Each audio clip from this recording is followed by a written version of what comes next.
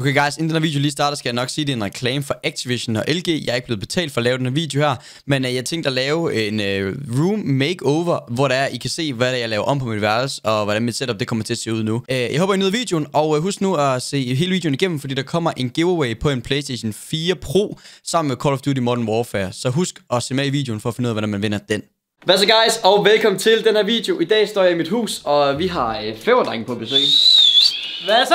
Det er Leo? hun der. Det er hun Men guys, det vi skal i dag, det er noget mega mega fedt.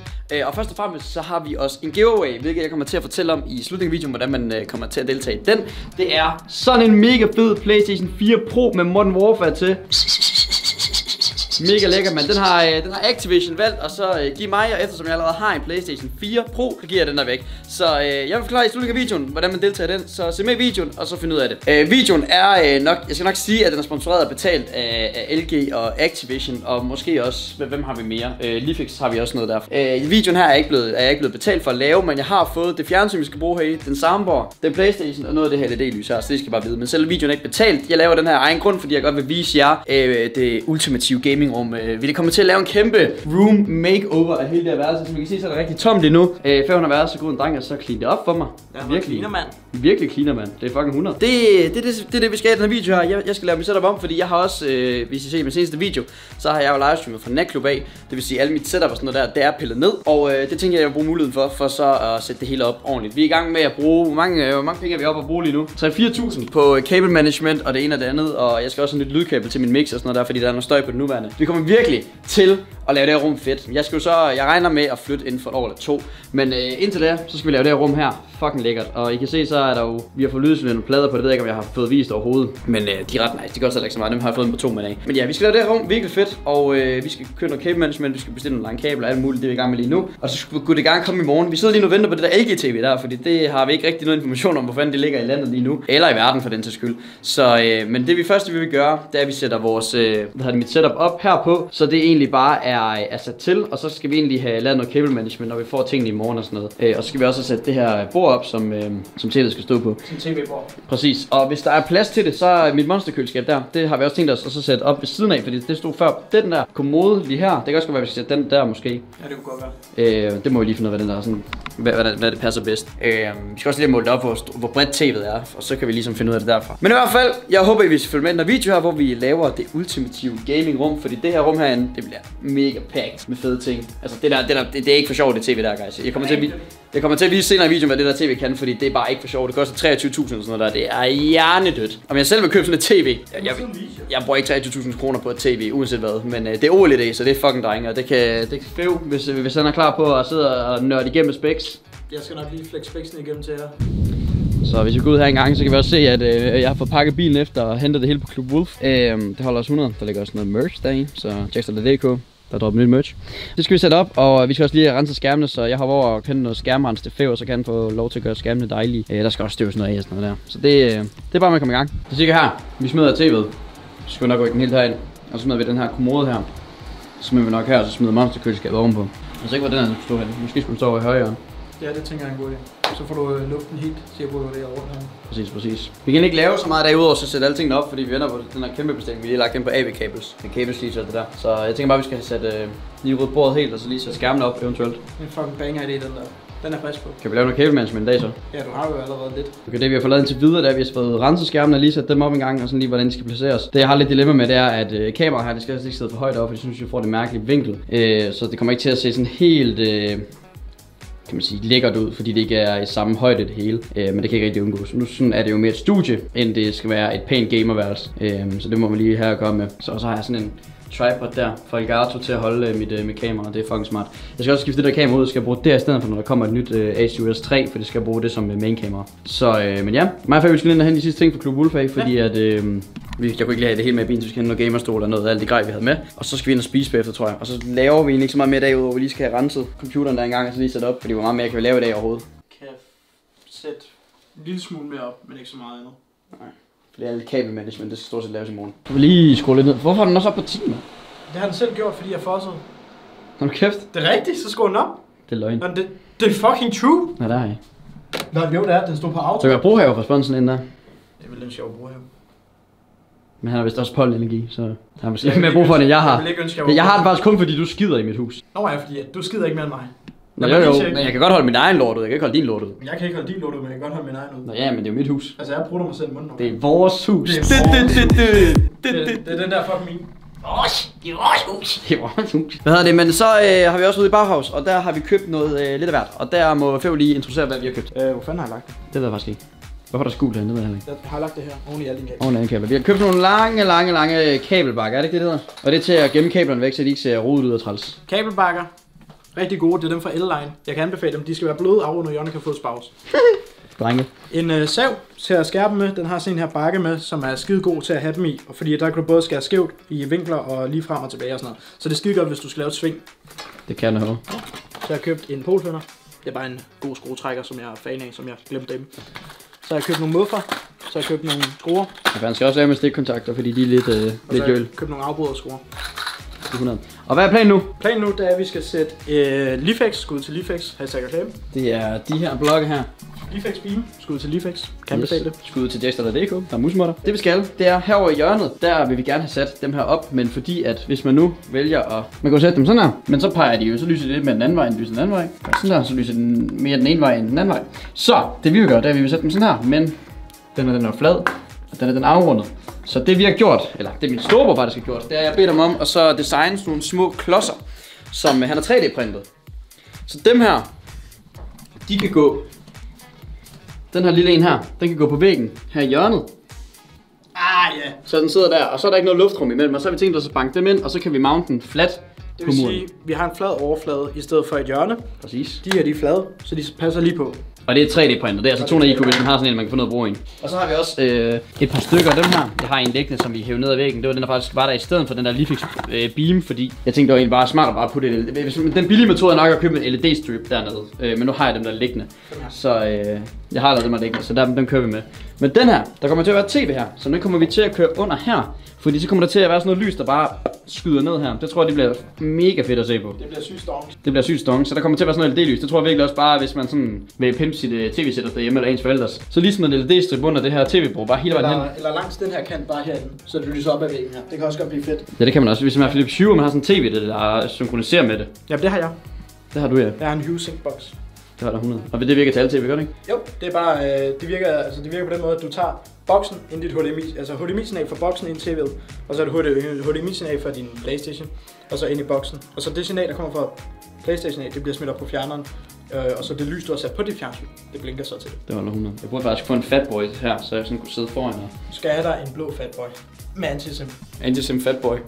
I recommend. Okay, nu har vi lige øh, testet det frem, fordi vi havde nemlig en LED-strip, der allerede var lidt mange klister. Men prøv se, så har vi bare mountet det derunder. Så er der lige sådan 20 cm hver, jo, hver side, der er at gøre med. Fordi så behøver vi nemlig kun 1 meter. Og så øh, ser det altså bare nice ud. Man kan selvfølgelig sige, at man kan se refleksionen af den der strip dernede i bunden. Altså hvis du skulle Det kan være, man skal smide det længere ind måske. Altså, det man gør med sådan en refleksion, det er, at du putter det ind i en uh, alu-profil med en diffuser ovenpå. Det er det, man plejer at gøre. Uh, Jax, han er smuttet i seng nu her for halvanden time siden eller sådan noget. Fordi han skal tidligere op og træne i morgen, og det skal jeg ikke. Fordi at, uh, jeg er fucking øm efter vores træning i går. Så uh, jeg har siddet og uh, lavet de her, den her uh, beam, der skal sidde herover. Uh, det har jeg brugt noget af aften på. Uh, og jeg er ved at være kommet et godt stykke. Så jeg har det første panel, det der skal sidde i bunden her, som har to holdere, så de har sat på med dobbeltklippende tape, og så dobbeltklippende tape til hjørnerne, fordi at jeg tænker, at jeg quitter den der med skruerne, fordi at det bliver for meget arbejde, og når det skal ned igen en dag, så bliver det fucking jøl. Så øh, jeg har 100 på det øh, med de her øh, dobbeltklippende. Det kører bare 100% ind på, se om det virker. Øh, og jeg er ved at være på det stadie, hvor at, øh, jeg skal sætte dem på, så det vil jeg lige filme til jer, fordi at, øh, det er fucking øh, drenge at se på, jo. Jeg ved godt, lyset det er fucking jøl hernede, men øh, der er ikke rigtig nogen andre måde, jeg lige kan få lys på, så det bliver sådan her. Men jeg har målt af, og øh, min øh, starten på strippen, eller på beamen, det skal være på den prik, jeg har lavet der, så det vil sige, at den skal sidde i her, cirka. Sådan der. Det skulle gerne holde det der. Det ser i hvert fald ud til at holde rimelig godt bare lige nu. Det sidder fucking solidt på. Det ryger i hvert fald ikke af. Det tror jeg ikke på, det gør. Hvis det ryger af, så er det heldigvis meget nemt at sætte op. Det er bare noget dobbeltklippende tape ind i hjørnet, og så spiller det igen. Hvis man, øh, hvis man skal gøre det selv, og man ikke har de her vinkelbeslag, øh, beslag, vi har lavet i en 3D-printer, så kan du egentlig bare tage en lille kugle med noget dobbeltklippende tape, det kunne man godt gøre, og så sætte den i hjørnet, og så bare smide panelet oven på den. Bare sørg for, at kuglen er stor nok til at ramme alle siderne her, og panelet også, så vil du kunne gøre det sådan. Øh, det vil i hvert fald være en måde at gøre det på. Det vil jeg nok anbefale at gøre. Og så være sikker på, at dit tapet det er, er sådan rot i det, så det, er, det har noget klip til. Øh, og så være med at gøre det på en helt nymalet væg. Vent øh, en uge eller sådan noget, efter du har malet. Ellers så rører malingen bare af, når du, kommer, når du tager det af en dag, fordi det ikke er hærdet ordentligt. Men øh, det var i hvert fald øh, det første panel. Så nu opdaterer jeg lige igen, når jeg har sat hele støtten på, og jeg tænder den, så I lige kan se det også. Så hænger den der. Det ser faktisk øh, okay ud i forhold til, hvad jeg regner med. Fordi at den er lidt svær at få lige på grund af, øh, det er sådan, de er ret fleksibile dem her. Så øh, den er lidt svær at få helt lige, men med lidt finjustering, så skal den nok blive helt lige. Og øh, det jeg faktisk valgt at gøre, det er at kun valgt at bruge det der øh, dobbeltklister på væggen. På den her, den nederste, og så på de to øverste. Fordi dem her, de behøver det faktisk overhovedet ikke. Og det gør bare arbejdet, når det skal pilles ned en dag, eller hvis man vil flytte det, 100 gange nemmere. Og det holder sindssygt, altså sindssygt stabilt nu. Det holder 100. Øh, det er faktisk lidt irriterende, at den går helt op til toppen, fordi at der er faktisk længere ned til gulvet, end jeg havde regnet med, når det kommer helt op. Men øh, sådan noget, det kan man jo faktisk, det kan man, selv, det kan man nemt ret. Men øh, lad os nu se, når bordet kommer over til, hvordan det her ser ud. Alright, det er dag 2, og vi har fået besked fra LG, og det tv, det bliver først sendt i dag. Så den er lort. Så det får vi først sat op en gang øh, i morgen forhåbentlig. Men det er stadig i Sverige, så jeg har jeg finder nok først, det kommer fredag. Men øh, det vi skal nu, det er, at vi skal have sat del op, at vi har fået pakken for AV-kabels af. Jeg har lidt af de der ting, vi skal bruge til at lave en stik. Ja. Yes. Så vi skal bare sætte det op også her, hvordan det sådan skal se ud, og så Fev han fikser kablerne. Jeg har lige været at træne, så jeg skal lige over i badet og shit der, men jeg skal lige bare sætte det op, som jeg har det, og så Fev han, øh, han viser lige, hvordan han gør. Jackson lige har været over i bad, og imens han gør det, så er jeg i gang med at fikse hans øhm, stik, strømstik og de telefonstik, der er herinde imens, fordi at de ser rimelig medtaget ud efter mange års brug. Så øh, jeg har lige skiftet den første herover. Den ser sådan her ud nu. Den er blevet skide flot. Og det man simpelthen bare gør, det er, at man køber bare sådan her plastikplader. Der tager man så bare en lille skruetrækker, pupper den her ud, og sender den her på i stedet for. Og øh, rammen her rundt om, der køber man simpelthen bare en ny ramme, der passer til. Det kan man få i Harald Nyborg, øh, Bauhaus osv. osv. Sindssygt nemt at sætte op. Øh, findes en million videoer på YouTube, der forklarer det. Og øh, forklarer med lovgivning og sådan noget her. Fordi at, øh, det er faktisk noget, privatpersoner godt må gøre. Du skal ikke være uddannet elektriker for at skifte plastik på en stikkontakt i Danmark, heldigvis. Så øh, det vil jeg klart anbefale, at I gør, hvis nu I har et, et værelse, som I er i gang med at sætte i stand, hvis I får lavet jeres skål, hvis I får malet, et eller andet. Så tag alle de gamle stikkontakter, og så skift alle de her plastikrammer og plastiktangenter, hedder det, på dem. Fordi at, øh, så får I et helt nyt look og det kan give en helt speciel øh, dynamik i rummet, hvis man får det skiftet. Okay. Det er lige til Broner, der kommer forbi i Young Vestbjerg. Selvfølgelig gør vi det. Det. Fy, hvad siger du sådan lige helt seriøst? Altså, vi har fået øh, dem her med noget fyld ind i, sådan noget chokoladefyld her. Chokoladefyld. De er, mm. i hvert fald den her, den har sådan nogle, de der øh, karamelhaløj ovenpå. Og det er toffee cups, er det ikke? Jo, jo, jo. Det er bare snack dengang man sad og spillede i øh, 8. klasse. Det smager jo helt vildt. Den her topping her, der er på, den her, der er sådan en tyk lag topping på, de er altså også bare noget til at smage, det må jeg sige. Ja, det er godt. Hør, mig, jeg, jeg, jeg, kunne også være, jeg kunne også arbejde for nogle andre. Og så er de bare helt luftige. Bare helt godt. Ja, øh, Ej, det er sådan en del. jeg, jeg kender Jackstars uh, stil, ikke? og det er sur slik.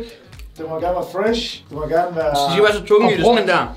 Den holder. Jamen ved du hvad, altså jeg er nødt til at sige til alle, alle Jacks følgere, det der med, at de må ikke være så tunge, det er fordi, han er ikke en mand endnu. Altså, han er ikke en mand endnu, og det er det, der er problemet. Bror, er vi ikke enige om, en rigtig mand, han kan spise sex med fylde? Altså, uden problemer. Hvad, hvad sagde Altså, to gange seks, ikke? Ja. To gange seks med fyld. Ja. Jeg vil sige, de her, de, den kan man bruge som sådan snackagtig. Det er det sådan sygt dessertagtigt, dem her. Det er sådan virkelig dessertagtigt.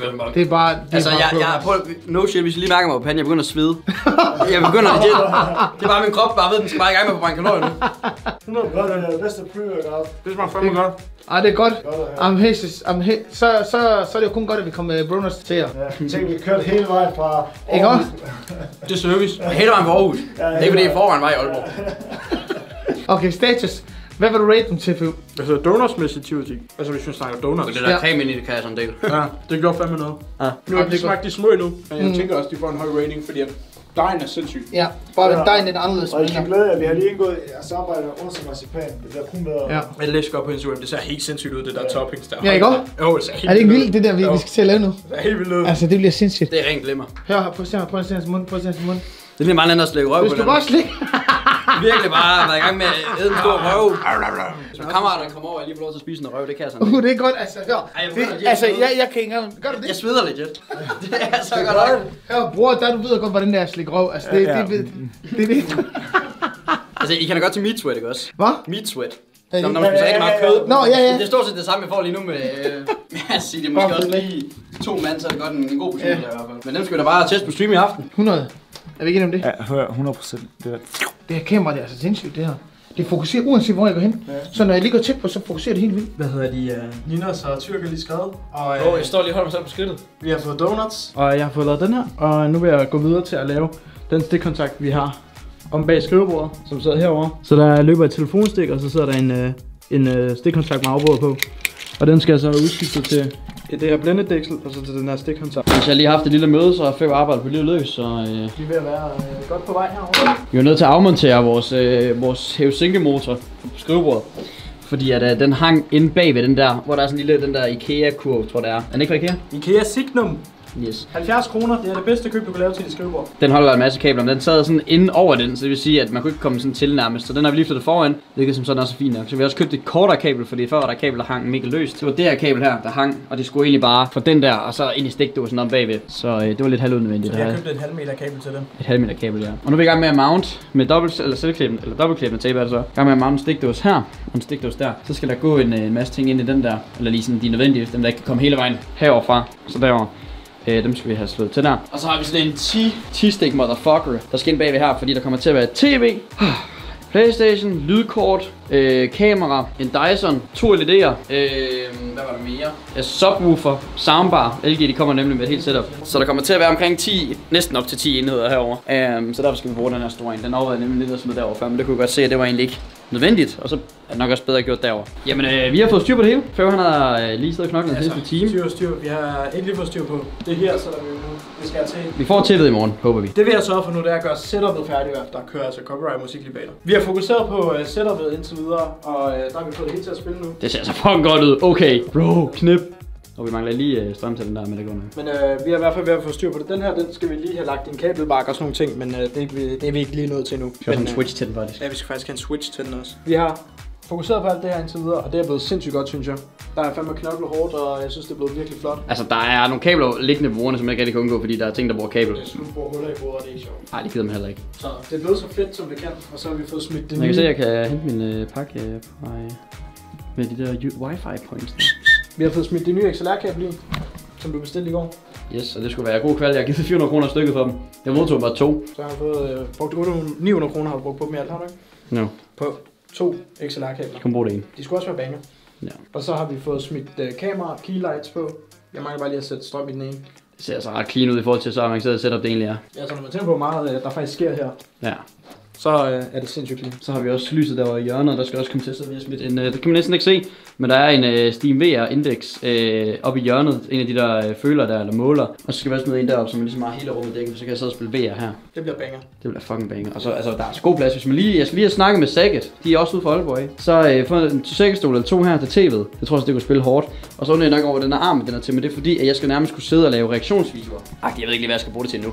Men have et kamera her, der kan stå som det til. Det vil sige, at øh, for så kan vi køre kameraet herfra op i den. Og så har jeg nemlig et feed, der kører herfra. Og så har vi, øh, kan jeg også gøre sådan hurtigt. Jeg kan bare smide nogle HDMI-kabler fra øh, min øh, Elgato, og så har vi grafikkortet. Og så vil jeg kunne smide min, min, min skærm herned, og det vil sige, at jeg vil kunne have nogle scener over i OBS, hvor jeg vil kunne sidde og se ting på min skærm her. Og så vil jeg have et kamera her. Så det eneste, jeg lige skal finde ud af, det er med mikrofonen. Men vi har et lydkort hernede under, som vi har tænkt os at så slå øh, så til, så vi også kan have en mikrofon her slået til. Og som I kan se her, så ser kabelmanagementet sådan her ud. Kablerne kommer ind her, hvor der er to HDMI-kabler, strømkabel og USB-forlænger. Og så herinde, der ligger der en øh, PlayStation 4 Pro og et øh, sådan et interface. Der kommer til at være en mikrofon her også, og et kamera her på og sådan noget. Og her, der sidder strømskinnen, hvor at, øh, der er 10 stik på, så vi har masser af power herovre. Og der sidder nanolypen og beam og LED-strøm på her. Og det går så over i controllerboksen, som jeg har sat pænt op i her. Der sidder to controller, eller tre controllerbokse til hver ting. Og der går de så ind i sådan en klump her, hvor et er her. Nanolysen her, og LED-strømmen går op i her, hvor jeg satte den fast flot.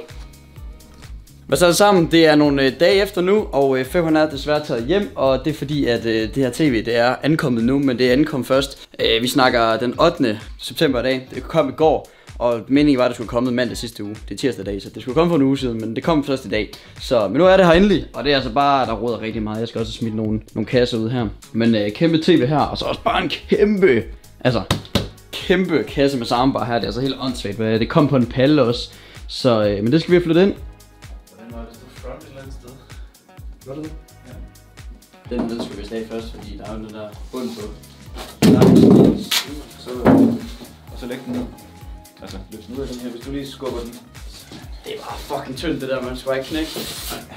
Følger der ikke en plade med? Nå, det er den der, der skal ligge ovenover bagefter. Nå, til. Nå, jo. Nå, det er den, når den skal kap. Eller sådan et eller andet. Men nu ved jeg så ikke om den...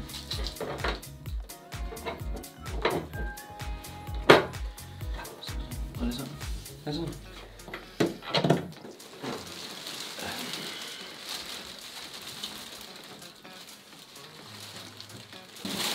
Kæft, det er stort, mand. altså, jeg er jo normalt bare sådan 55 tommer, det er altså lige sådan, det er lige sweet spottet. Mm. Meget større end det, det er jo bare stor pik. Prøv lige at se, så er der bare sådan en... Chunky, Ja, ved du hvad, den, den, den, den til designafdelingen lige kom hjem med igen. ej, den kan de altså godt tage tilbage til designafdelingen. Jeg vil så sige, når vi betaler 20.000 kroner for et tv, så må jeg altså godt lige... Øh, Ja, så må, så må fjernbetjeningen øh, altså godt lige være lidt derefter. altså, prøv at se en fjernbetjening, jeg har fået til min Dyson. Det er en, det er en Magic Remote. Ja, det er det. Ja, Hvorfor laver de ikke sådan noget? de kunne godt lige have lavet lidt aluminium og sådan noget. Nå, har bare lavet den og sådan noget der. Ja. Sådan lidt en, fordi du, altså, der er ikke nogen grund til at tastatur i Netflix snart og alt muligt lort. Fordi det er jo lidt noget, noget træls nu, hvis de skal connectes med, det med lydkabler. Det skal det jo sikkert. Ja, der er sikkert nogle billige lydkabler med. Nej, nej. Det er bare AC, tror jeg. Jo, jo, det er bare Perry. Hæft, mand. Jeg kan opstå, det koster 10.000. Hvad er det, siger du? Det er bare Perry, den skal, den skal bare strøm. Nå, okay. Wireless subwoofer. Hæft, det er altså meget smart. Det er jeg virkelig bare klar på. Så langt så godt, så har jeg fået øh, smidt øh, ja, et signal derpå. Hvad hedder det? Jeg ved ikke lige helt, hvordan jeg skal bruge det, fordi jeg troede, det fungerede på den måde, at der var også var indbygget Chromecast i den her. Nu ved jeg ikke lige helt, hvordan lyden fungerer, øh, fordi der er nemlig nogle HDMI inputs bag på den her, så det vil sige, at lyd køres igennem den der. Så sådan, der HDMI signalet skal det bruges den der, det skal, hele skal køres ind i den der. Så jeg ved ikke, om man skal smide en Chromecast på, eller hvad man skal, så skal jeg også købe sådan en. Men øh, der skulle være en Twitch-app inde på tv'et, som jeg så ikke lige ved, om den virker sammen med, øh, sammen med soundbaren, fordi den skal jo gerne sende lyd. I gotta clear the boogies out of my nose so that's it sneezing, dude. Un momento. What is this guy doing? Står den spiller, men det gør den egentlig ikke lige helt. Så nu gør den. Og jeg ved ikke lige helt om, sammen, øh, om subwooferen den er slået til, fordi at, øh, jeg ved sgu ikke lige helt, hvad den skal gøre, udover den... Altså, det, det ryster meget i gulvet derovre, så jeg tror, den gør det, den skal. Øh, men... Øh,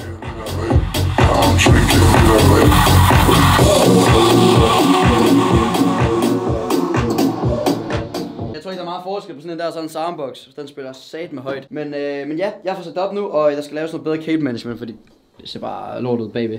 Øh, det, det kommer fem år fikser en dag, men øh, jeg tror, jeg skal have noget frokost nu, og så skal jeg en gang med at streame, og så skal vi lige se, om, ikke lige kan, om det ikke lige kan stå i baggrunden, så sejt ud. Men, øh, for at slutte så videoen af, så skal jeg jo lige fortælle, hvordan I kan vinde den Playstation der.